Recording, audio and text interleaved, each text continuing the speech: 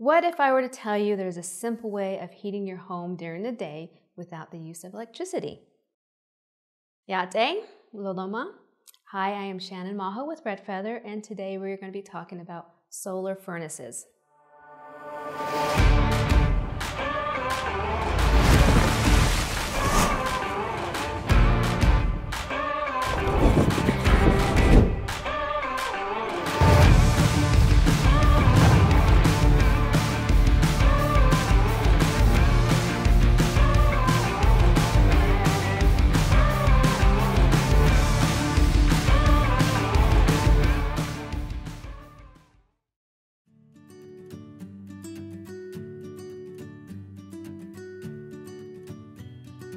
So what is a solar furnace? Well, basically a solar furnace is a box that is going to be installed on the outside of the home.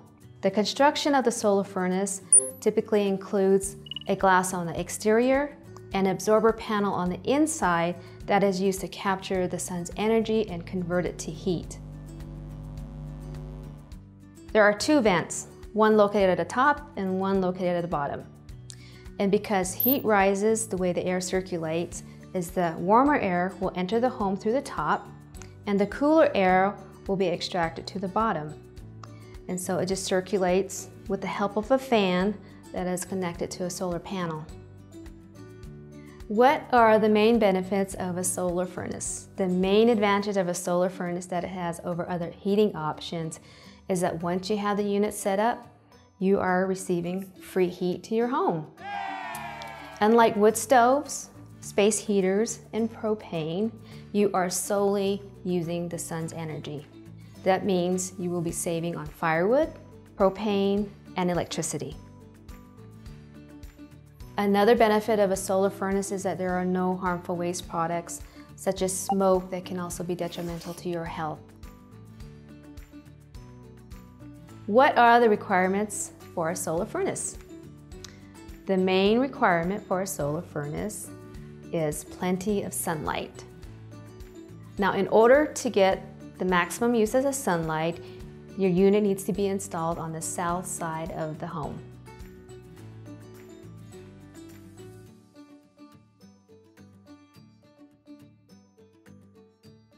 Because a solar furnace requires direct sunlight, you will need a second source of heat for the nighttime hours such as a wood stove or a space heater.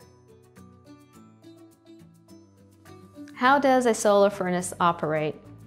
Well, a solar furnace has a thermostat that the homeowner can use to control the temperature in the home. What is the maintenance for a solar furnace?